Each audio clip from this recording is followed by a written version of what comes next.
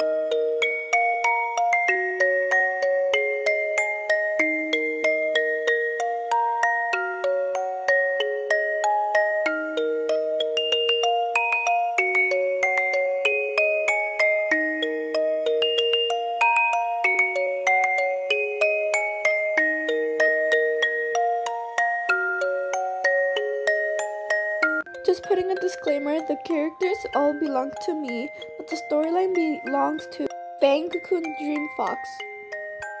Also, I noticed some things were wrong in the edit. There were sudden background changes. Now, this is their channel. Go check them out. Yeah. Now, here's some scary edits.